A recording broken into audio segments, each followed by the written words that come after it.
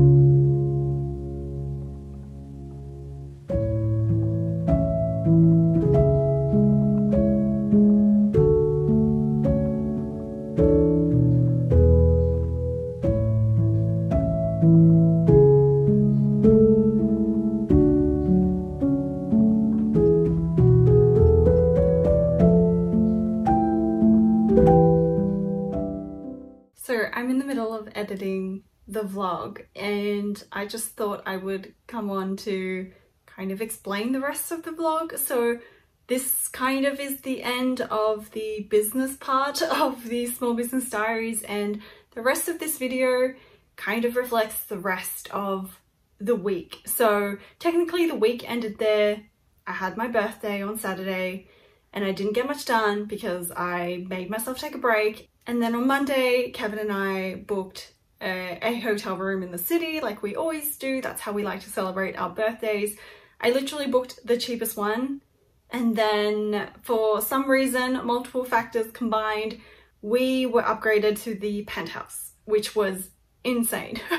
We've never been upgraded to something that big before and I don't think that will ever happen again. So excuse the footage because I just kept filming everything because I was in awe and in disbelief that it happened to me. Um, granted, we did go on a Monday, so it's a lot more quiet because of lockdown. You know, the hotel industry is a little bit more quiet.